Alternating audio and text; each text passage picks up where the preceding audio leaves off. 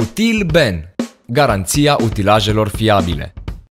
Vă prezentăm modul în care trebuie făcută diagnoza unui încărcător telescopic Manitou. Utilajul respectiv este dotat cu un motor Perkins. Deschideți capota motorului și accesați mufa de diagnoză pentru motor.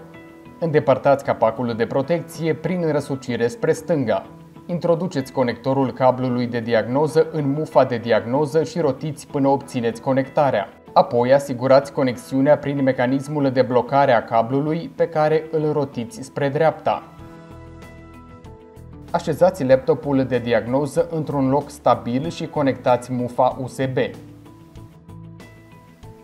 Accesați programul dedicat de diagnoză și dați un click pe iconița Connect. Pentru diagnoză, contactul utilajului trebuie să fie pus. Verificați acest aspect pentru că procedura poate începe doar în momentul în care indicatorul luminos aferent comenzii Power este funcțional. Procesul de conectare începe atunci când indicatorul luminos aferent comenzii J1939 funcționează intermitent. Calculatorul de motor poate fi accesat în momentul în care programul de diagnoză afișează informația că procesul de conectare este realizat. Așteptați câteva clipe până ce istoricul utilajului este descărcat automat în programul de diagnoză.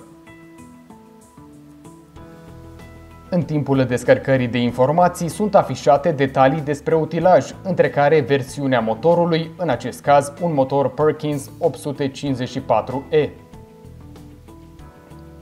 Dați un click pe iconița Product Status Report, iar programul de diagnoză va deschide o fereastră nouă care conține informații detaliate despre motor. Selectați toate specificațiile afișate, accesați opțiunea Create Report și descărcați informațiile respective.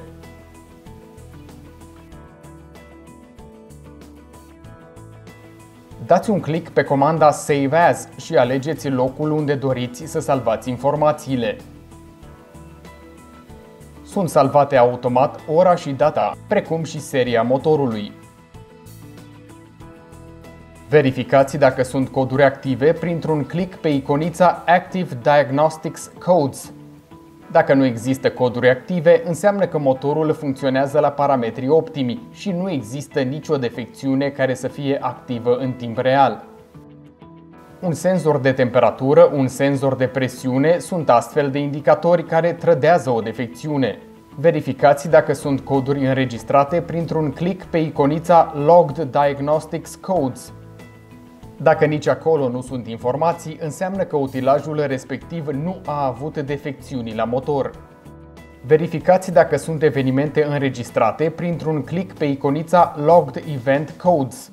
Dacă nu sunt valori care depășesc intervalul normal, înseamnă că motorul utilajului nu a fost supra-solicitat și funcționează la parametri optimi. Printr-un click pe iconița Status Tool, verificați datele stocate în timp grație unui meniu complex care conține categorii de informații și subcategorii. La rubrica General Data, de exemplu, aflați informații, printre altele, despre temperatura motorului,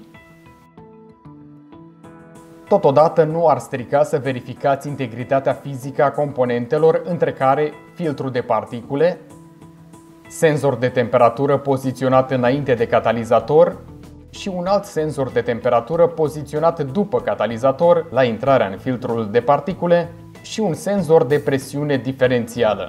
Cu un click pe rubrica Diesel Particulate Filter, verificați starea filtrului de particule.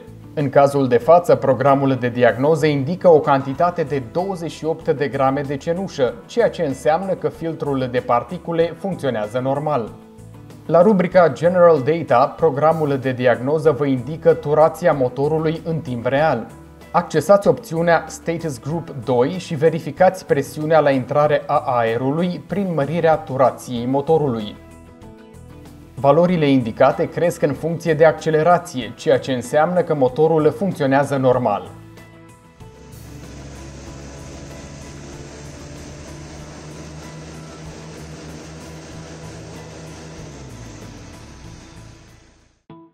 La rubrica Engine Temperatures, verificați valorile de temperatură înregistrate în motor, iar la Engine Pressures, verificați presiunea în motor.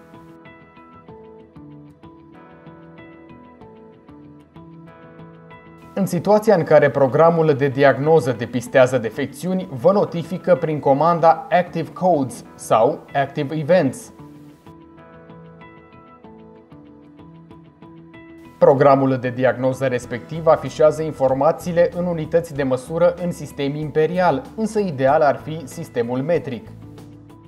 Oricum ar fi, puteți face conversia unităților de măsură folosind o aplicație pe smartphone sau cu ajutorul internetului. Rubrica Throttle arată gradul de apăsare a pedalei de accelerație și indică dacă motorul este la ralanti sau nu.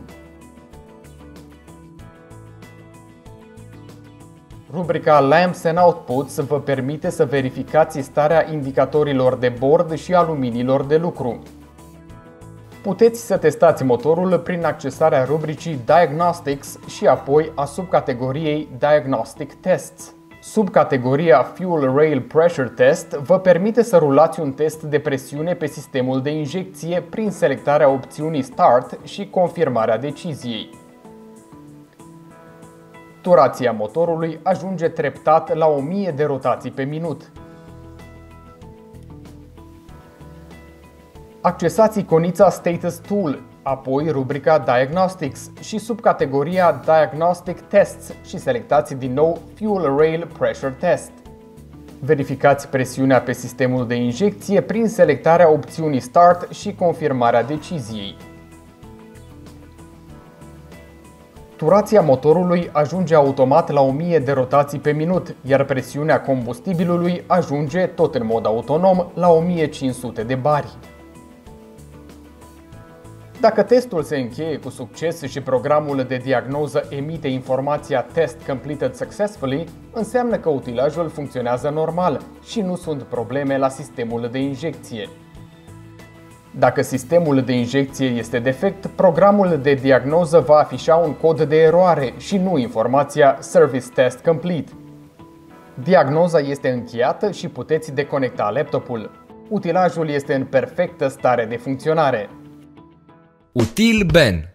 Garanția utilajelor fiabile.